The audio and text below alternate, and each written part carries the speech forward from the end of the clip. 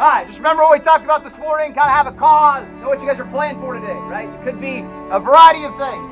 Hey, but they're coming in your house to beat you, right? So you look them in the eye, and that's, that's all happening today, right? So right from the very snap, but balance it, right? You got to play under control with clarity. Everyone's different, right? You can't play the same way at DT as you can play at receiver and a quarterback, right? So have great clarity and focus on what you're doing and execute and take it to those guys on every play, every snap, right? And then come in at halftime, we'll readjust and we'll go right after him again in the second half. Yeah? Yeah!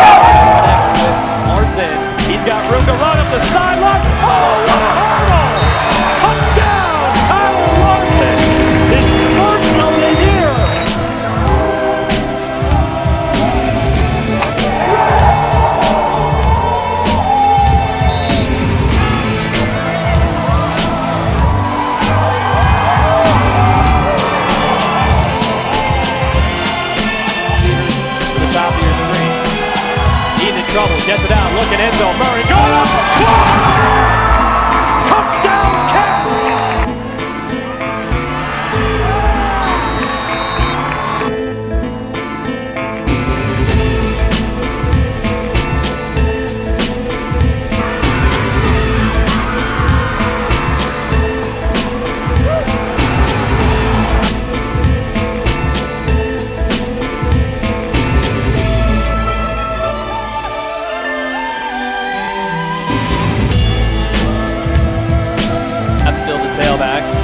And they're going to direct snap it to him. Hurdles!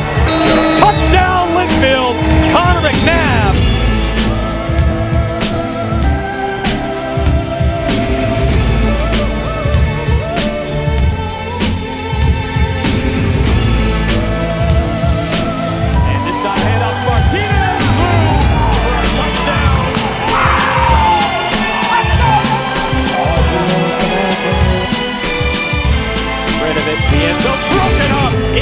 Zone by Chance Sparks.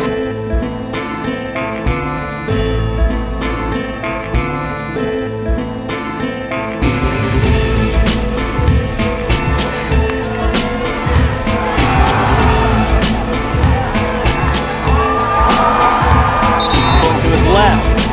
Has to get rid of it. Intercepted! Evan Bizek! What a nice job right there.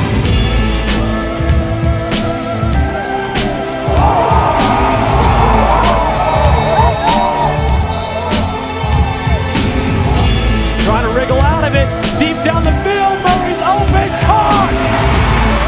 Gets across the board.